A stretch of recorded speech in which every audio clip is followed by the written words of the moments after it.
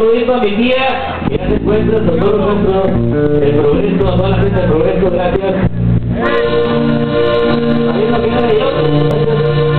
Luis Rodríguez de Monterrey, Nuevo León.